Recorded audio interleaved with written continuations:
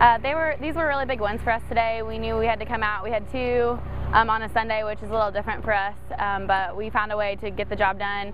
Uh, the offense was great today. Uh, they make me feel comfortable out there. It helps me just to kind of throw my pitch, and we're just working right now, one game at a time. It's coming down to the end, and we just really need to keep winning and keep doing our thing, um, staying together, staying strong as a team, and we should get the job done day in and day out.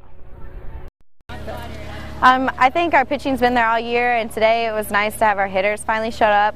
We had a lot of big hits up and down the lineup, a lot of people doing their job, just getting on base. Our offense was uh, pretty strong, the best it's been all year, and I think we're in a good spot to finish the conference season. So today we came out, um, the bats came, uh, pitchers I thought did a good job out there. Um, it was good to have production out of the whole lineup. Uh, I thought we were patient with the pitcher, made her work, got our pitch, and we hit it. Um, for me, you know, I just try to stay patient, just be calm, uh, just try not to think too much out there. That's when I'm at my best, and just get my pitch and take a good hack at it. Uh, overall, it was a good day. A little frustrated yesterday with our loss. Um, we didn't play how we wanted to play, but we came out today and got two big wins.